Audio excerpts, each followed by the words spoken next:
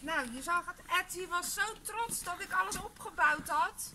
Dus eh, hij zegt, nou, dan mag je alles op naar de auto brengen. Nou, bij deze hoor, Ed. Alsjeblieft.